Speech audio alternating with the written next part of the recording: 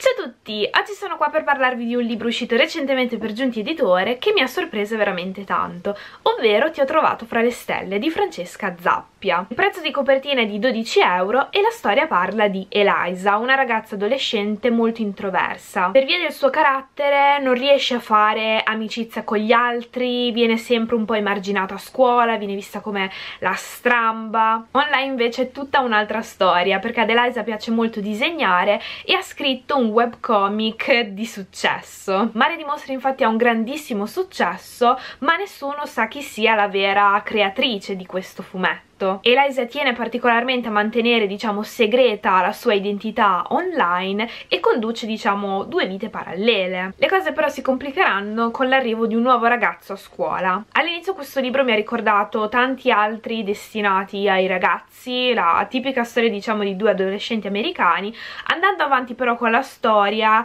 entrano in gioco tante tematiche e variabili diverse che mi sono piaciute molto. È il libro che avrei voluto leggere io da adolescente Gran parte del libro si focalizza sul confronto fra la vita online e la vita offline, che non chiamerò vita vera perché in realtà gli amici comunque che si fa Eliza online non sono amici finti, sono delle vere e proprie persone comunque. E spesso è una cosa che invece si sottovaluta, che si tende a dire non è la vita vera quella che passi online Mm, non è sempre vero, ci sono diverse sfaccettature del tema. E mi è piaciuto che si riprendessero un po' questi concetti, che si riflettesse tanto sulla tematica vedendola da diversi punti di vista, partendo da quello dei genitori di Eliza, che sono un po' genitori vecchio stampo che non capiscono tutto tutti, tutti i meccanismi diciamo dello stare online su internet questo da una parte mi ha fatto molto tenerezza perché comunque sono genitori abbastanza ingenui che ci provano a coinvolgere Eliza nelle, nelle loro attività, amano tantissimo l'attività fisica, fare sport, fare giochi in famiglia, comunque stare insieme a contatto anche all'aria aperta e cercano di includere Eliza che invece è un po' un eremita, se ne sta chiusa in camera a disegnare, a chattare con i suoi amici. Sono i tipici genitori visti dal punto di vista di un adolescente, insomma penso che chiunque a quell'età vede i propri genitori un po' con, non dico distacco, però ogni cosa che fanno per includere Eliza viene vissuta da lei come una sorta di, di punizione, quando in realtà quello che cercano di fare loro è coinvolgerla, farla sentire amata e parte della famiglia. Il modo in cui vengono rappresentati i genitori e in generale le figure adulte all'interno del libro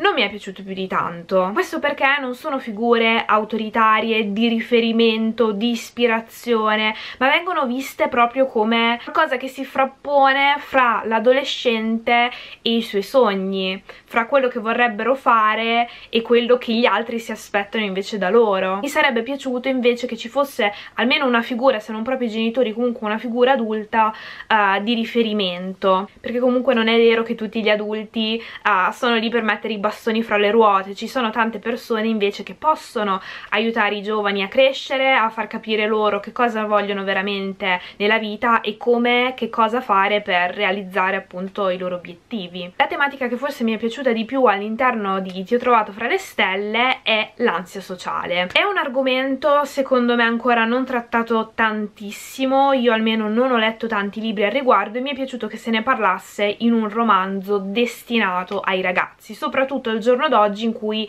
chiunque bene o male è esposto online. Eliza infatti se online è abbastanza sicura di sé, è famosa, uh, è di successo, offline fa veramente fatica ad integrarsi, a fare amicizia, si sente a disagio in contesti sociali, ad uscire con gli altri e secondo me all'interno del libro viene spiegato bene che questo non è sbagliato perché lei è diversa, lei è strana, lei non è come tutti gli altri, ma è una situazione che mette a disagio lei, che fa stare male lei. Da una parte vorrebbe uh, uscire, stare con gli amici, conoscere questo nuovo ragazzo che è arrivato a scuola, dall'altra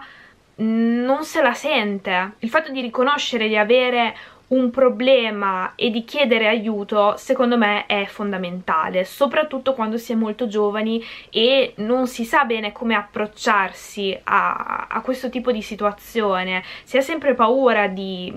dare voce ai propri pensieri, alle proprie insicurezze Invece nel libro mi è piaciuto che si parlasse di questa tematica e soprattutto che ci fosse qualcuno disposto ad ascoltare i problemi e ad aiutare effettivamente Eliza. Un'altra cosa che mi è piaciuta molto di questo libro è che quando si parla della propria attività online lo si fa sempre in maniera abbastanza responsabile e consapevole. Sia Eliza che Wallace, i protagonisti di questa storia, sono attivi online per motivi differenti, condividono il proprio lavoro, parte della propria vita, però lo fanno sempre in maniera maniera molto responsabile, sono ben consapevoli delle informazioni che rilasciano online e sanno qual è il limite. È molto importante perché secondo me tante persone al giorno d'oggi, non soltanto giovani ma anche grandi, non sono ben consapevoli dell'esporsi online, magari condividono delle informazioni che nelle mani di alcune persone potrebbero creare dei problemi, soprattutto danneggiare uh, la propria vita personale, la propria privacy. È molto importante secondo me quando quando si è online, che sia su un social, un blog, un forum,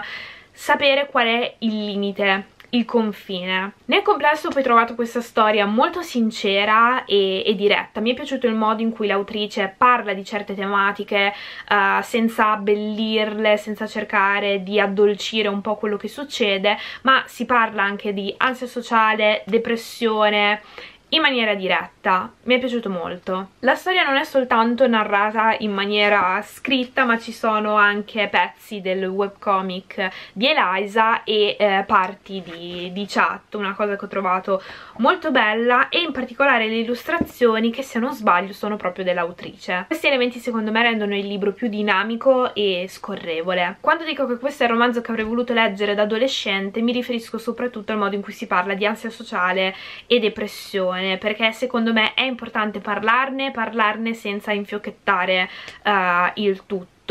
senza frasi fatte, senza basta essere, essere positivi e andrà tutto per il meglio. No, non è sempre così. C'è un grandissimo lavoro da fare su se stessi che spesso non si può fare da soli, ma bisogna ricorrere uh, a uno specialista, come ad esempio lo psichiatra. E sono delle figure, secondo me, che spesso vengono sminuite all'interno dei libri, che in realtà sono molto importanti. Ho sentito poi il personaggio di Eliza molto vicino a quella che era la Donatella adolescente. Mi ha fatto per certi versi molta tenerezza ma anche rabbia. Si sminuiva veramente tantissimo, aveva una bassa concezione uh, di se stessa e quantificava il suo valore in base alla sua produzione artistica che è una cosa secondo me veramente sbagliata e per fortuna viene fuori anche all'interno del libro nel complesso Ti ho trovato fra le stelle è stata una lettura molto piacevole anche di intrattenimento per certi versi perché ci sono elementi ricorrenti un po' del genere si parla di amicizia, primi amori ci sono dei momenti anche abbastanza buffi e teneri. È poi un libro molto interessante per le tematiche di cui vi ho parlato poco fa e ci sono diversi spunti di riflessione. È quindi una lettura che vi straconsiglio di fare soprattutto se siete adolescenti ma anche se siete un po' più cresciuti come la sottoscritta. In particolare se siete abbastanza attivi online penso che ci siano diversi spunti che troverete interessanti e soprattutto vi potreste rivedere molto. Questa era quindi la mia opinione su Ti ho trovato fra le stelle. Fatemi sapere qua sotto nei commenti se è un libro che avete letto anche voi se vi incuriosisce o meno insomma quali sono i vostri pareri al riguardo. Spero che questo video vi sia piaciuto e noi ci vediamo alla prossima. Ciao